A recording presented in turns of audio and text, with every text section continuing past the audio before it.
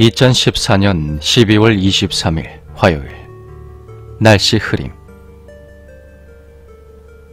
오늘 옆반 이내에게 고백을 했다.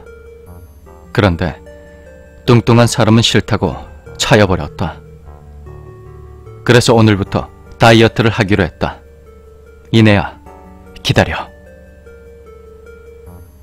2014년 12월 24일 수요일 날씨 누놈 어제 인터넷을 뒤져서 나에게 딱 맞는 다이어트 방법을 찾았다. 먹는 부위가 빠지는 다이어트라니. 내일부터 4일 동안 연휴니까 오늘은 출렁거리는 뱃살을 좀 빼기로 했다. 이내야, 기다려. 2014년 12월 25일 목요일 날씨 흐림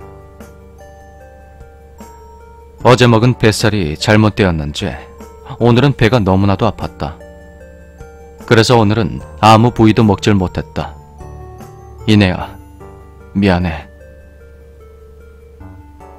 2014년 12월 26일 금요일 날씨 맑음 오늘은 그저께 먹다 남은 뱃살과 팔살을 먹기로 했다. 어제 체한 이유는 먹는 방법에 문제가 있어서였다. 그래서 오늘은 생게 아니라 구워 먹기로 했다.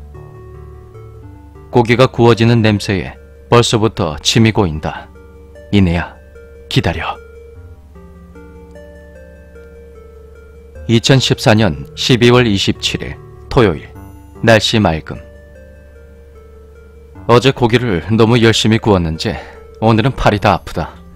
역시 고통 없는 다이어트는 없는가 보다. 그래도 먹지 못할 정도는 아니라서 오늘은 다리살과 목살을 먹기로 했다. 이내야, 기다려. 2014년 12월 28일 일요일 날씨 비옴 어젯밤에 잠자리가 불편했는지 오늘은 목이 좀 아프다.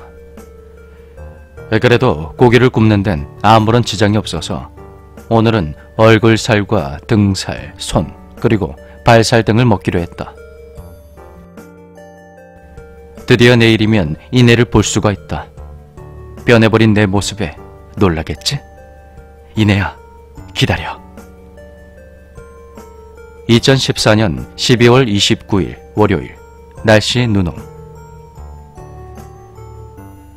날씨가 추워서 학교 가는 길에 얼굴이 아렸지만 이내를 볼 수 있다는 기대감에 꾹 참고 등교를 했다. 등교길 내내 나에게 향하는 시선들에 살짝 우쭐하기도 했다. 날 보고 놀란 이내의 얼굴을 잊을 수가 없다.